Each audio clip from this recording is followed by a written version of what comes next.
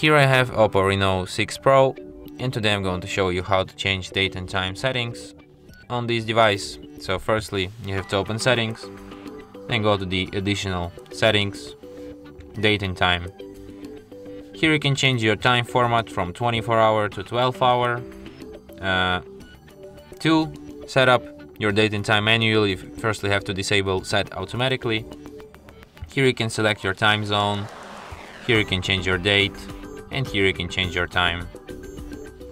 You can also add home screen world clock and enable dual clock with one clock of your current region and the other one with your home region.